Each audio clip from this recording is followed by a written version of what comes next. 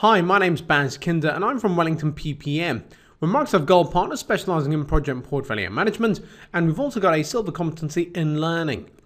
Today we'll be looking at Microsoft Project Server 2010 and specifically we'll be focusing on inconsistent approaches to project management and enterprise project types, otherwise known as EPTs. Before doing that, let's have a look at the evolution of Microsoft Project. So back in 1987, Microsoft released the desktop scheduling tool and at that time it was primarily geared towards individual project managers. As organizations have grown in maturity, as more and more people have wanted visibility of what's happening on projects, and as the need to collaborate on projects has come about, Microsoft released Project Server. So we're currently on version 2010, which is the fifth release, so it's quite a mature solution. It's not just me saying that, these are also the findings of Gartner. In this year's MarketScope 2011 report, where they look at all of the leading players in the project portfolio management space, they gave Microsoft Project Server 2010 a strong positive rating.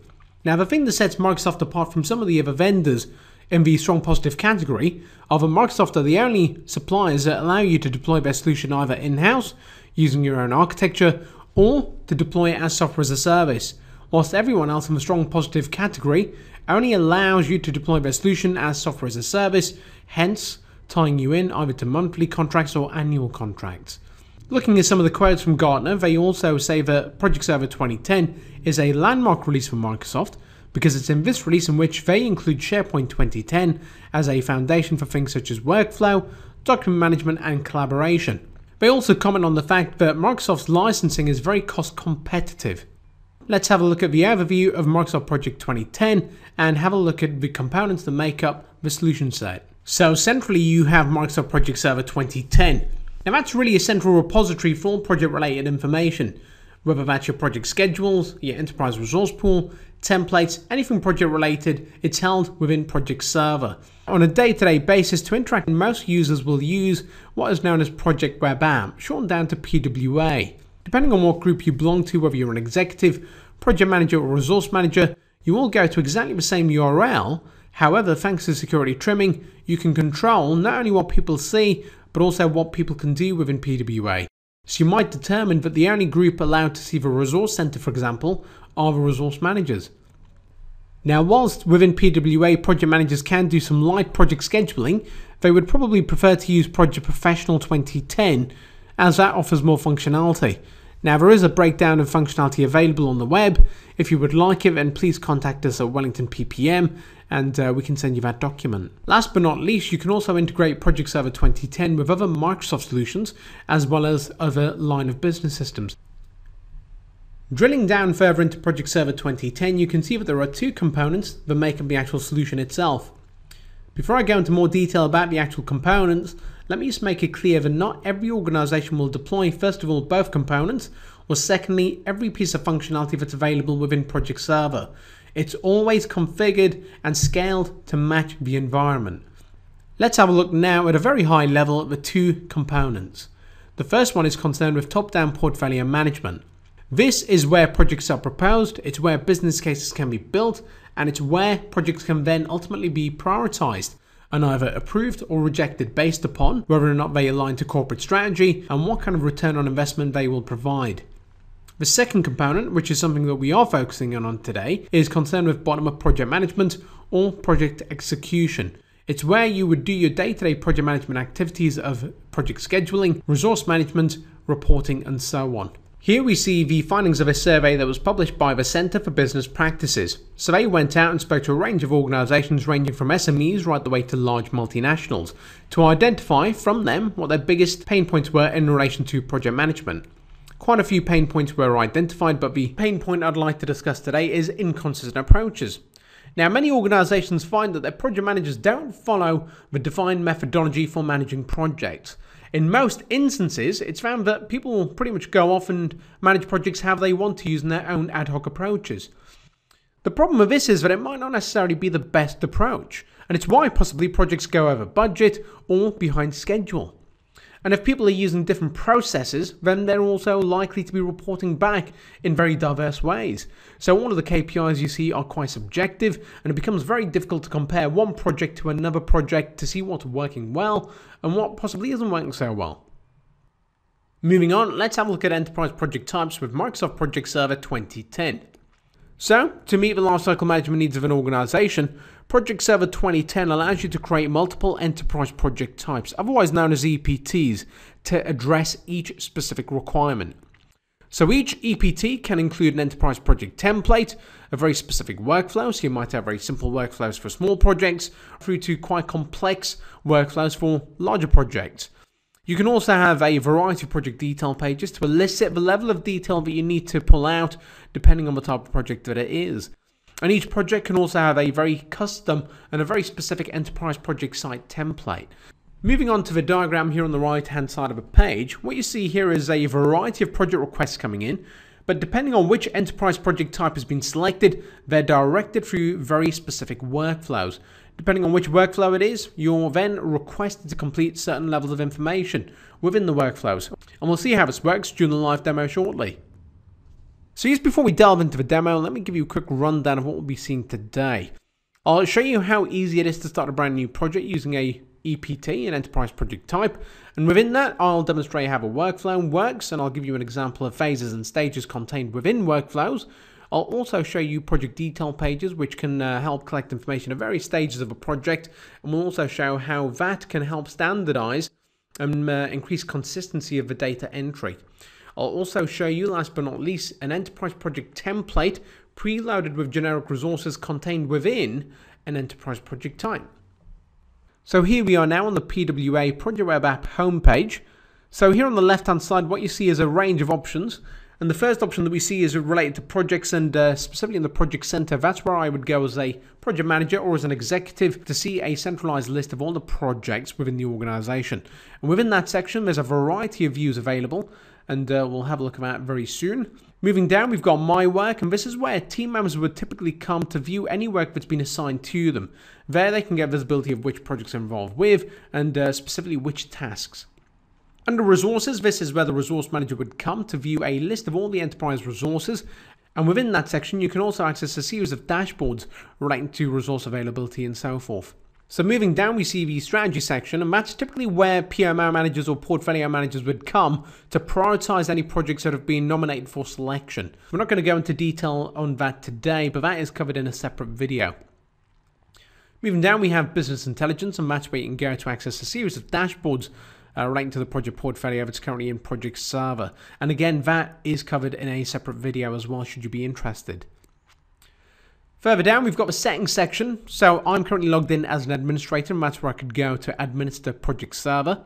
Now, let's say, for example, I'd logged in as a team member, then the only option I might actually be able to see might be my work. Everything else would quite simply be invisible. In the central area of the screen, we have a reminder section, and that reminds me about any new tasks assigned to me, timesheets, approvals, status updates, and issues and risks. So let's now go to the project center.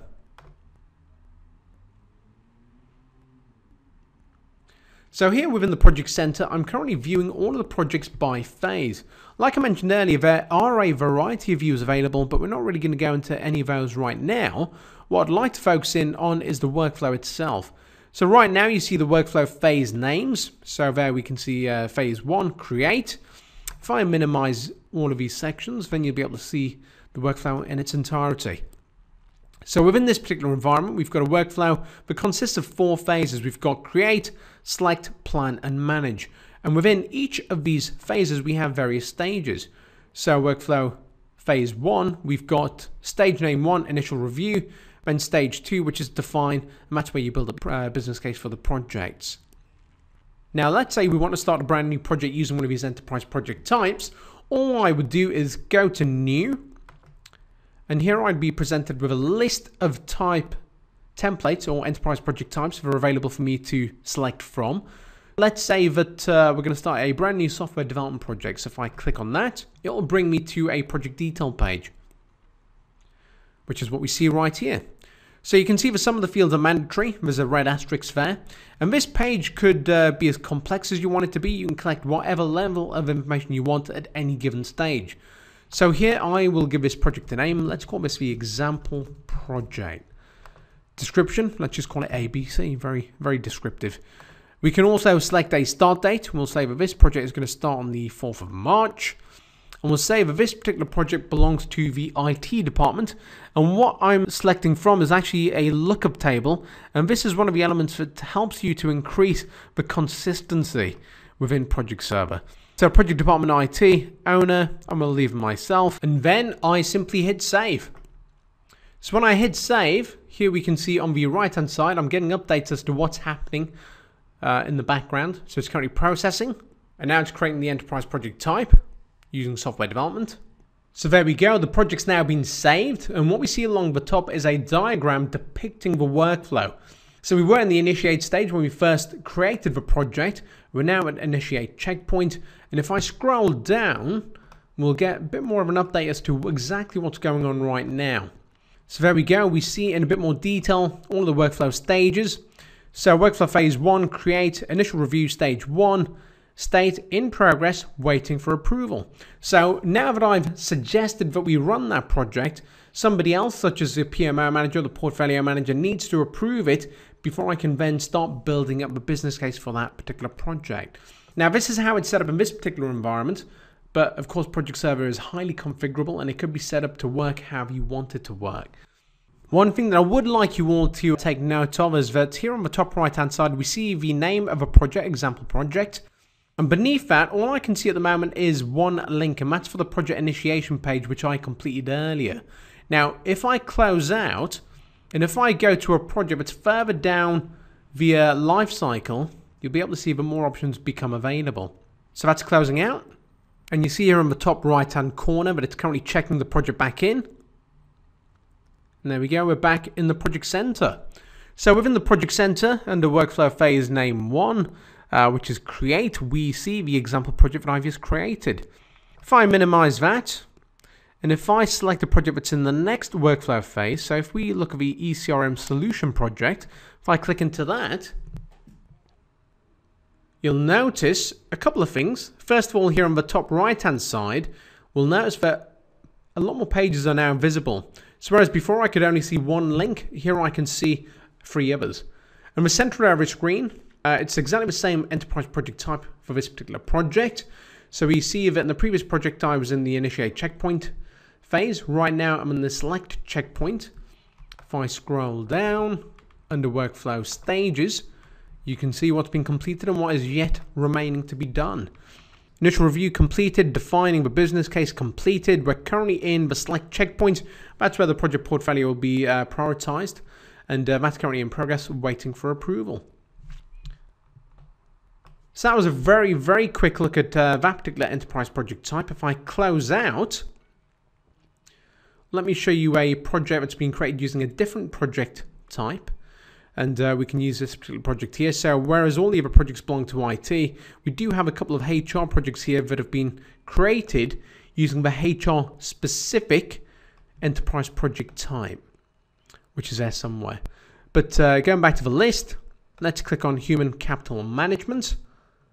And you should notice, but the workflow diagram along the top, and certainly it is, it's a lot smaller than the previous enterprise project type that we had. The previous one that we had had eight stages within it. This one only has six. Let's close out. Something else that I would like to point out right now is that within enterprise project types, you can also have enterprise project templates. So if you know that you're running the same type of project again and again, you know that it's going to follow pretty much the same schedule. You can have the same tasks within it. They're all going to take roughly the same amount of time. And you need certain types of resources to complete the work. So within the enterprise project types, you can attach enterprise project template. And that's what we'll see now within this particular project, the payroll system upgrade. I click into that, so here we are within that particular project and we're currently viewing the schedule and in fact, I don't even need to go into Project Professional because here you see a breakdown of all the uh, phases and uh, tasks within this particular project. But under the resource names, you can see that we've got some named individuals, but at certain points you can see that we've got what is known as a generic resource, so that's an analyst. So we can see in a few places that analyst has been placed there as the type of resource required to complete the particular tasks in question. So that's all self-contained within enterprise project types. And that really concludes this demo, which was quite short, but hopefully that gives you an indication as to what enterprise project types are and what kind of possibilities exist. Now, PPM in a Box is our pre-built Microsoft Project Server 2010 deployment package. It's designed to get your organization up and running within 12 days at a fixed price. To get full details on the package itself, then please visit our website, which is wellingtoneppm.co.uk. On the website, you can also request a callback, and a member of our team will be in touch with you within 24 hours.